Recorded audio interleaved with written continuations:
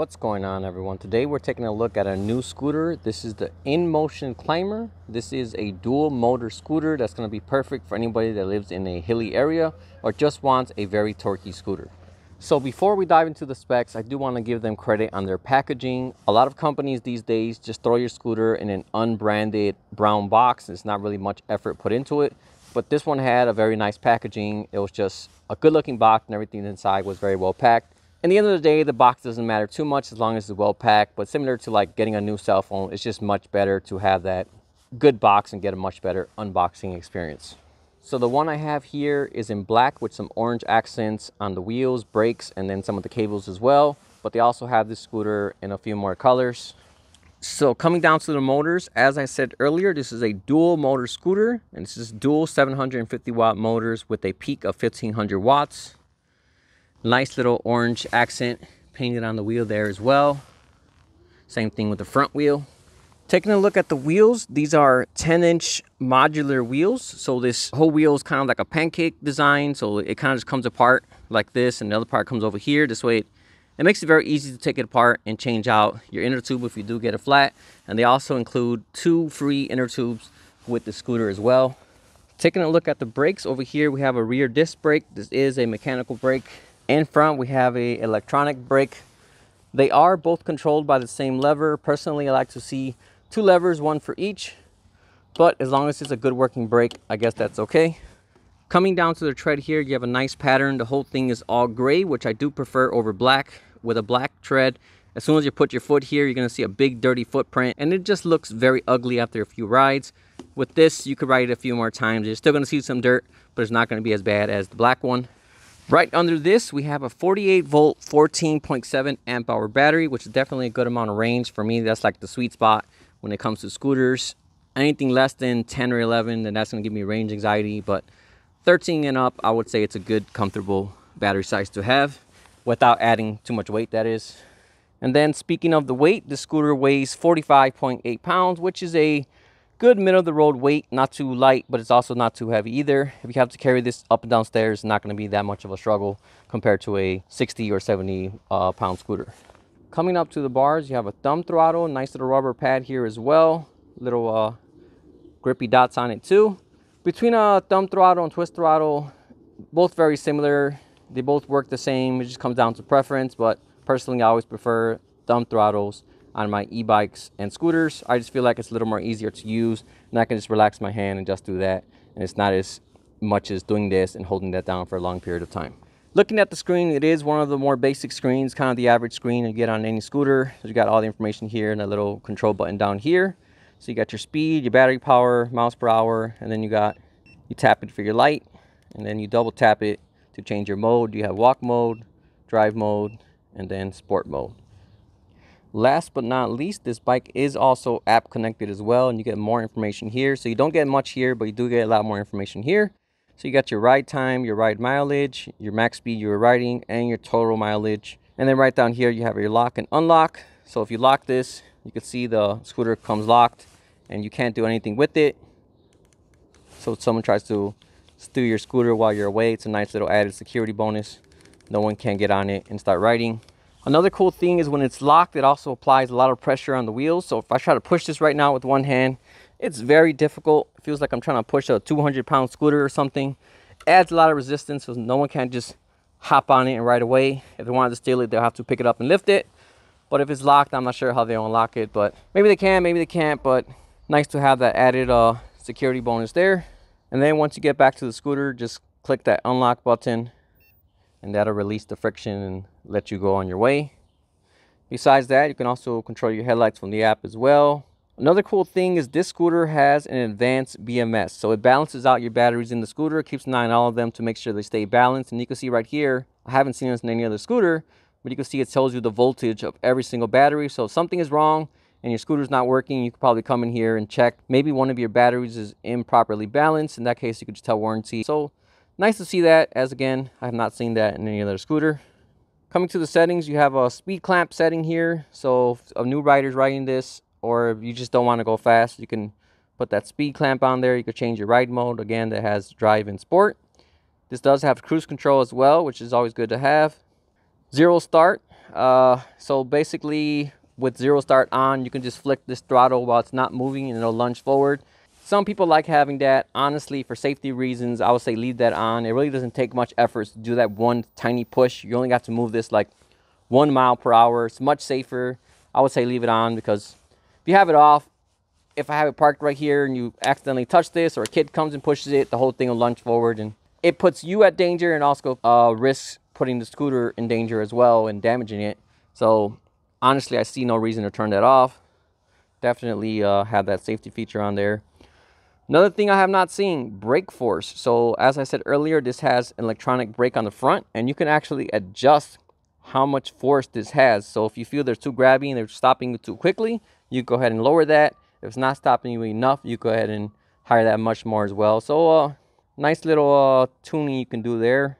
Then you have vehicle calibration. So this has throttle calibration and brake calibration. So if you feel like your throttle or your brakes are not working properly, you can come in here and recalibrate them. Maybe there's a delay or a lag you feel, and this will go ahead and uh, fix that up for you.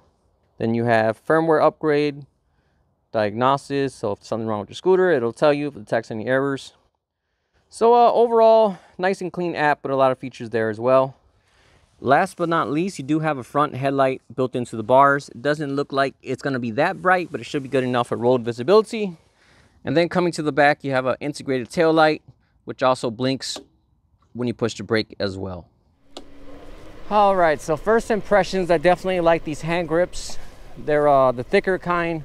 A lot of scooters have thinner hand grips similar to what an e-bike has, and honestly, I don't think those are as comfortable on a scooter. When it comes to electric scooters, I definitely like these uh, fatter ones like we have here. Uh, tires do a good job of soaking up the cracks and bumps in the sidewalk here.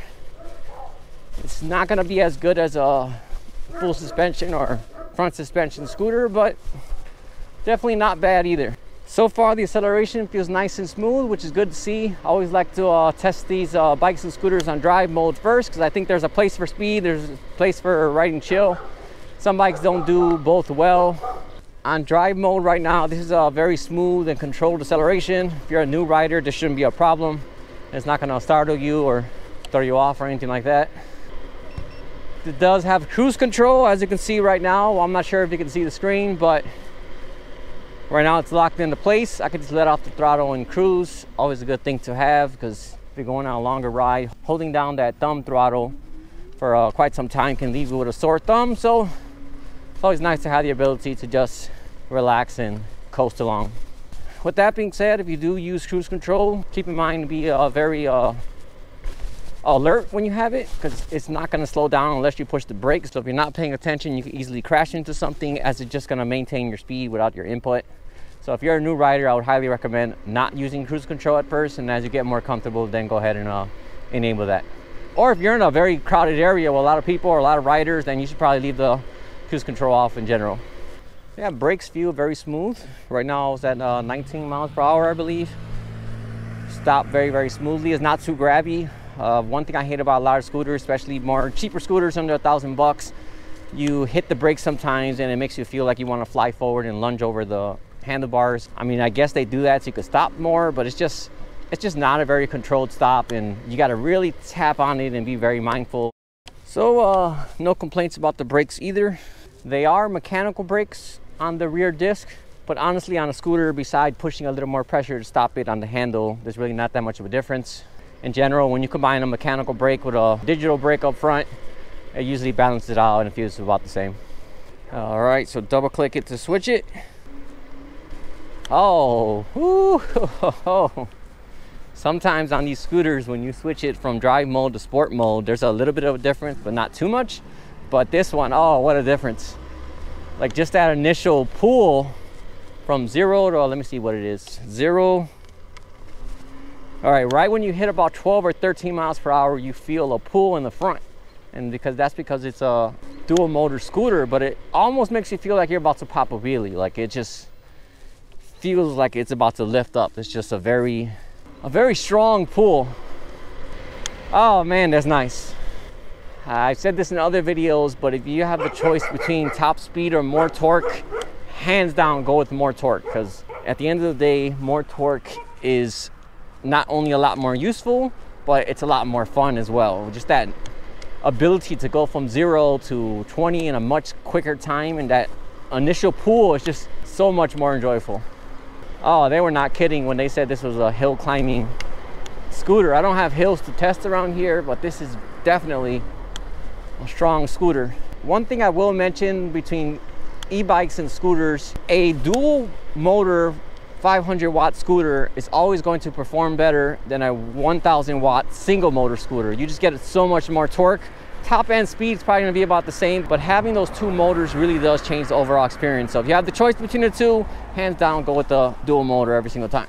For the price that this scooter costs, I cannot believe that it has this amount of power. If someone told me this scooter costed $500 more than it does, I would believe them because it does have a whole bunch of low end torque.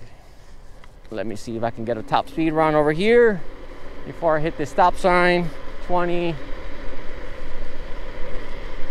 22, 23, 23, and then cruise control kicked in. So I'm assuming that's somewhere around the top end speed. Oh man, I went up that sidewalk right now and it had a little hill on it. And usually you feel a, a slowdown and then it picks up because of the hill. But this one, it didn't, it did not sweat at all. Like I don't have any hills in my area, but I can already feel the power this thing has. All right, let me see if I can do a top end. 22, 23.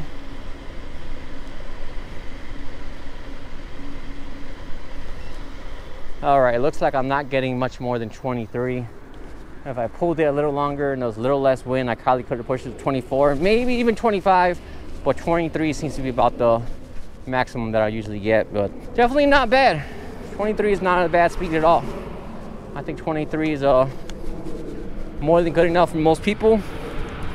Unless you plan to ride on the roads with cars often, you need to go 30 miles per hour or something. Oh, accidentally put it in a walk mode. I was wondering why I was going so slow. But yeah, unless you plan to ride on the roads with cars, you need to go 30 plus, then you look at something else. But for most regular uses of riding around the streets, going down trails, this speed is definitely uh, more than enough. And it's a whole different class. When you're going to a scooter that has 30, 40 miles per hour, that's not even a regular scooter anymore. That's when you're going to a, an electric motorcycle almost. So I wouldn't even bother uh, comparing the two. But on a scooter like this, you definitely want it to go about 20 and up. Yeah, having these uh, fatter grips definitely helps uh, soak up some of the bumps as well. Because if you have thinner grips, when you hit these bumps, a lot of those bumps travel into the bars and you end up with sore hands by the time you get home. But these fatter grips definitely help absorb a lot of that.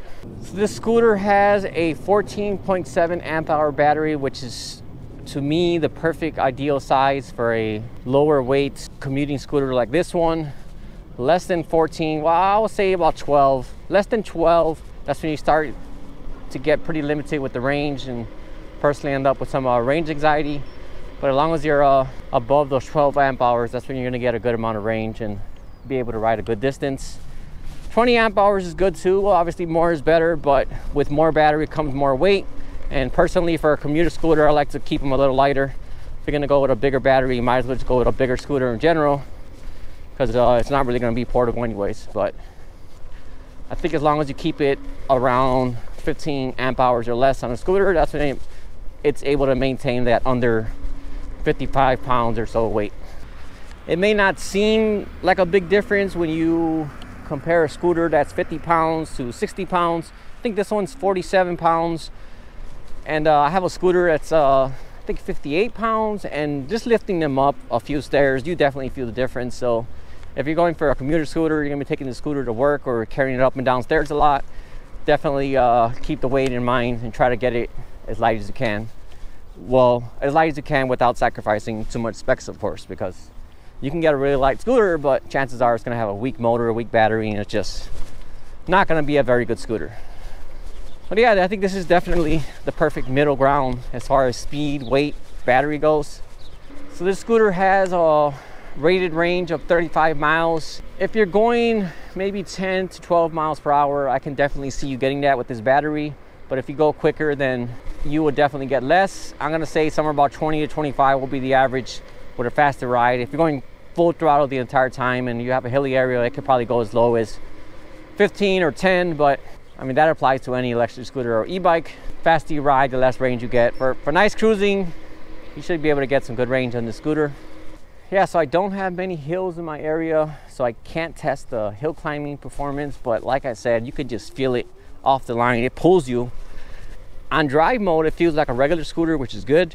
It feels like any other single motor scooter. I'm not sure if it twitches down to one motor or it just cuts down both, but it just feels like a regular scooter at that point. But once you switch into sport mode, that's when you feel it really, really pulling you. So if you live in a hilly area, this is definitely gonna dominate any hill. Yeah, overall, this is definitely a very solid scooter. I have no complaints about it. Everything on it works well. I think for the market they're trying to hit, it checks all the boxes, but unlike most other scooters in this price range, this one also has dual motors as well. So if you live in a hilly area or just want a scooter that has a lot of torque, then this scooter is definitely a great option to look at. All right, well, that about wraps up this video. As usual, if you have any questions at all, feel free to drop me a comment and let me know. Otherwise, thanks for watching, and I'll see you all next time.